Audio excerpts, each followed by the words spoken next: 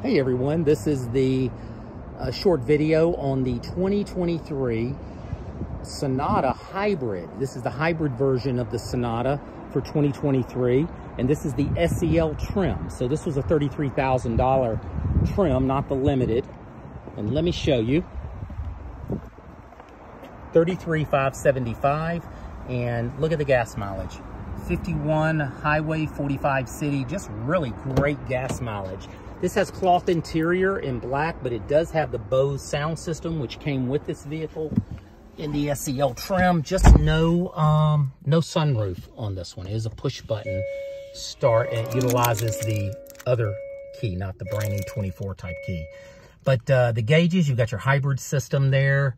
You've got different uh, uh, information in the middle. Also over here, you see we're in the EV mode. So it's just like an electric car right now.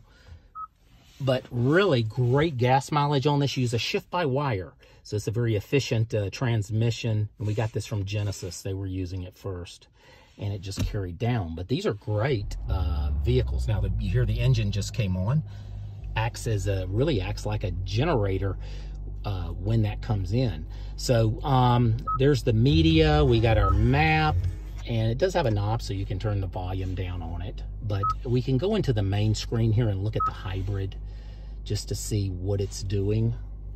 This is set up on a two screen but you can see now it's it's charging the battery. So it uses regenerative charging. So the brakes on a hybrid uh, when you when you stop it it takes energy from that. It doesn't waste it. it it puts it back into the battery. Also when you're coasting and also when you're driving the car it can uh, do that. It can also give you the kilowatts here, but uh, you of course have to drive it. But it is the Bose sound system, so it does have the better sound system, which is great.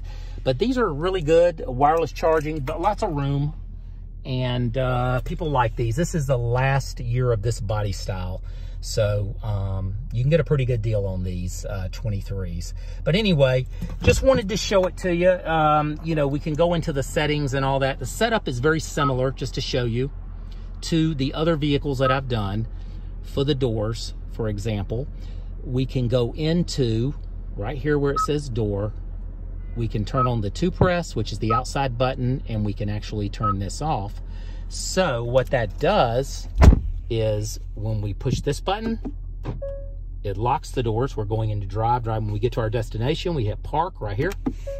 It doesn't lock, unlock the doors. They stay locked. And that's a great thing for safety. So these doors here are locked from the outside. When you're ready to get out, you just open the door. So the, you'll see the theme if you've watched some of my videos I've been putting up. Hyundai uses the same type system, but I like to show it in individual cars, maybe one that you own, so you know exactly how to do that. But I uh, hope everybody has a has a great day. And if you have any questions or anything on these vehicles, just let me know. Um, and I'll be happy to get the answer for you. If I don't know the answer, I'll research and find out what the answer is. you got your blind spot monitoring right here. And uh, a lot of the new cars have gone over to um, the red triangles, kind of like what Mercedes-Benz uses. But these are very nice, great gas mileage, and uh, I hope everybody has a great evening. I'll talk to you later. Bye-bye.